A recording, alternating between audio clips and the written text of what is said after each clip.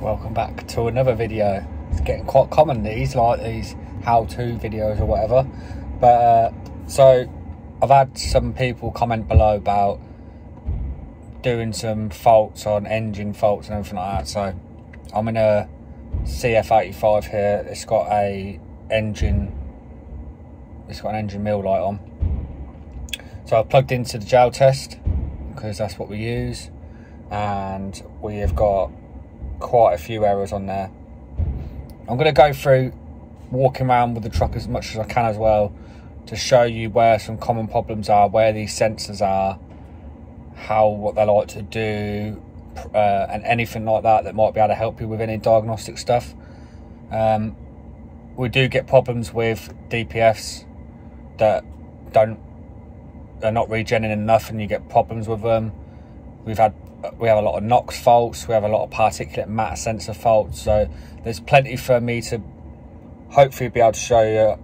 I've plugged into this one already and I can see what the fault is, so I will go through the fault, what it is, where it is, and what I'm going to do, and hopefully it will give you a good insight onto maybe even help you a little bit into some common faults on these 85 DAFs this is this is the MX-11 engine, so yeah. What year is this? 2017. So Euro six. So yeah. Hope you enjoyed the video, and I'll see you so soon. So just doing my service, and then obviously I've got a mill light on now, so I thought I'd show you that. So I've already pre-plugged this in and pre done a check on it. Now the fault I have is a non-present error, but it has a fault with it, so I'll quickly show you here.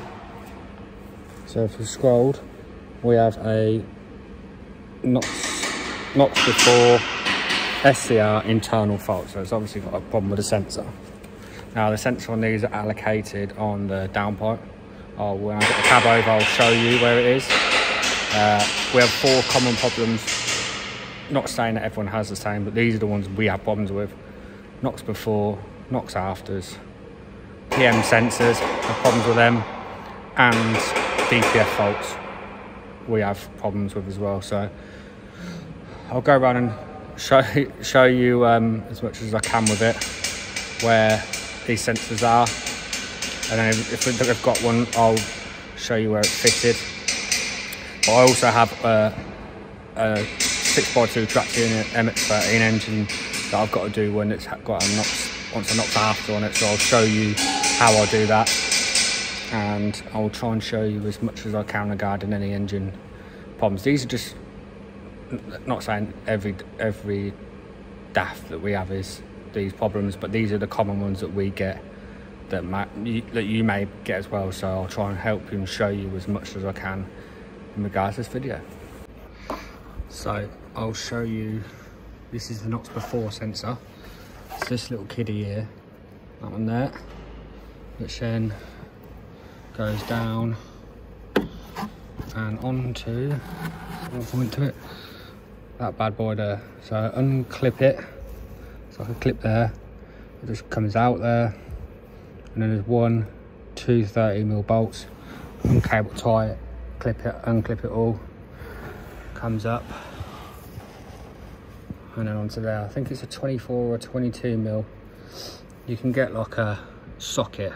You just you can put an extension in and a ratchet that will go over that special made socket, for, or you might be able to get a spanner on it. But we use a little socket for it. So yeah, that's the NOx before sensor there. Fairly easy job to do. It's nothing um, too complicated. So yeah, I'll um, show you some more. So these are the other two sensors I told you about. That kiddie there is a particulate matter sensor, PM sensor. And that little bad boy there is a NOx after. Two 8mm bolts holding them in, both of them. The NOx after sensor, the bottom one's okay. The top one can be a bit fiddly to get to.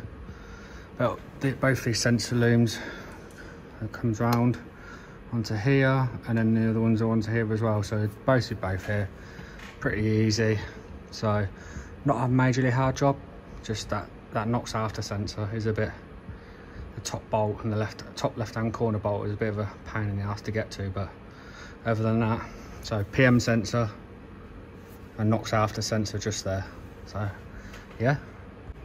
So the other problem we have is with DPFs which I mentioned earlier. There's one two and then there's three torque bolts. Take them off. This has got to come off first two 15 mil bolts at the front. That plate off and then behind it there's a clamp with a 30 mil nut undo that take the clamp off knock the cover off and then you'll find your DPF filter. There the problems we have with them is they clog up with rubber with um, AdBlue and they clog up really bad.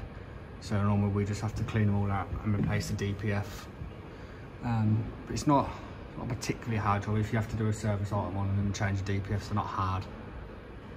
Just be wary of them problems because they do have problems with them but you know we've done quite I'm not saying everyone has them problems but as a as us here we've done quite a few of them so yeah.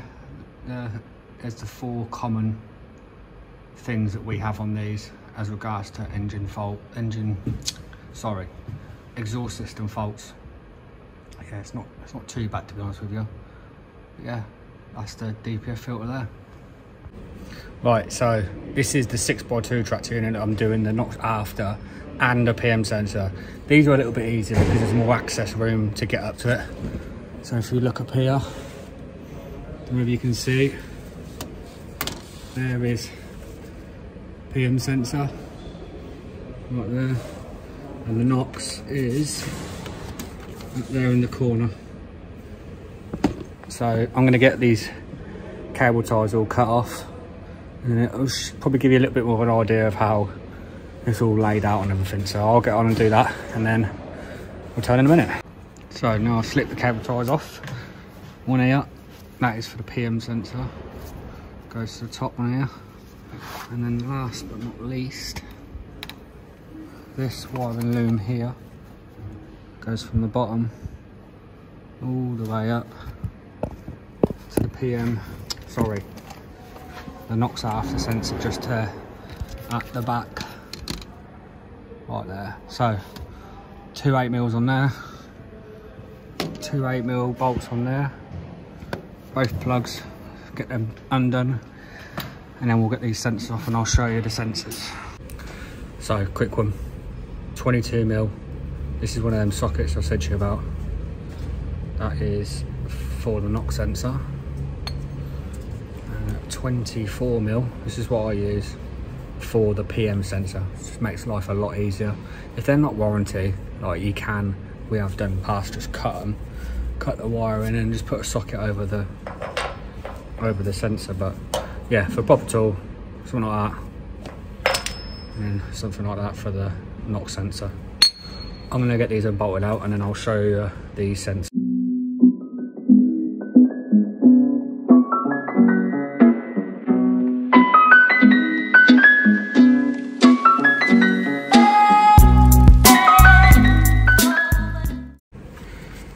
That's the PM sensor out.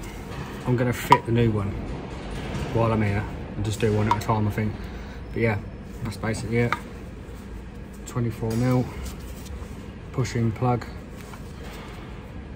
Yeah, pretty much PM sensor. So I'm going to get the new one in. Show that.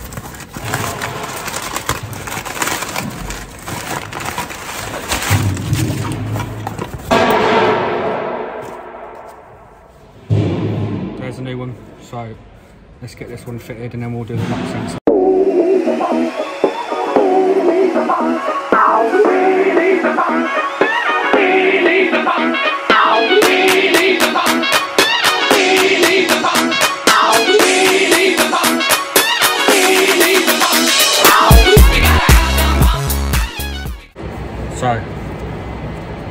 Some NOx after out.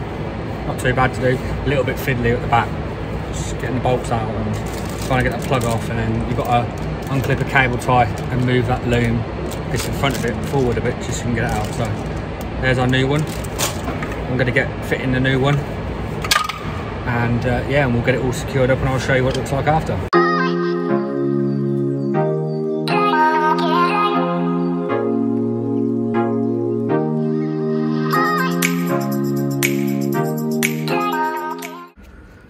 there you go. PM. And then lock sensor fitted, all secured up. Hey, so unfortunately, I didn't get a chance to pick the camera back up, but you get the gist of the idea what it was. I showed you where the NOx sensor is before on the downpipe. I showed you where the NOx after is, which is behind on the cat, where the particulate matter slash PM sensor is, and about taking out the DPF. Once I get a chance to do a service blotting on a DPF, either a DPF change or I have a DPF fault, I'll record it the best I can to be able to show you that process and, and how we do that. Pretty simple though, all that sort of stuff. It's just bolt on, bolt off, but it's obviously knowing where they are. Showed you quickly on the computer the fault codes we had with it. But yeah, it's, it's not a not a hard job really. So I hope you're enjoying the videos. If you if you if there's any videos you particularly want to see as well, I'll try and do them as well as best I can. Don't forget to like, comment and subscribe. It always helps out and um, I will see you in the next video.